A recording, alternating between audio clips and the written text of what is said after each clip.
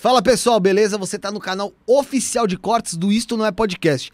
Esse episódio completo você assiste através do link que tá na descrição. Então não esquece, clica lá também, se inscreve no nosso canal, compartilha o vídeo e ativa o sino. Valeu! Fez parte daquele encontro lá do, da Voadores?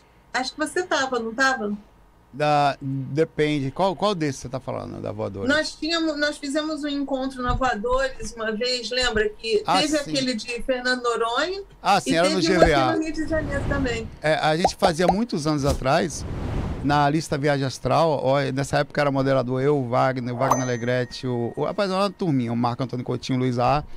Havia- Lázaro Freire. Lázaro Freire, onde a gente tinha a intenção de chegar até o, é, o, o Pão de Açúcar, no Rio de Janeiro.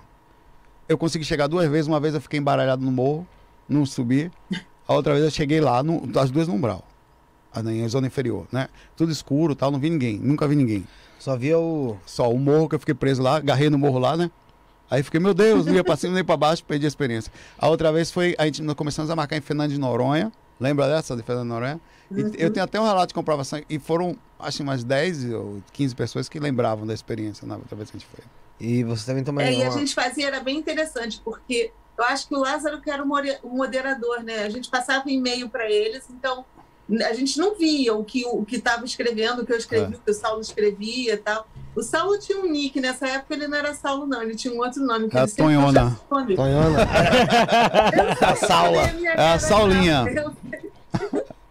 Eu Não, pô. dando meu nome. Não, era, eu não tinha nick. não. Que nick era o meu? Eu não tinha nick, não, nem Qual era teu nick, tá cara? me confundindo Não. com outro, hein? Isso é traição, hein? Era Duende do Astral. Gnomo. Gnomo. Gnomo. Gnomo do Astral. Todo mundo passava os e-mails, você relatando o que você tinha visualizado. E o, e o Lázaro, ele fazia o cruzamento desses e-mails. É o Então Nescau não branco. tinha como a gente sugestionar ou um falar pro outro. Era bem legal, né?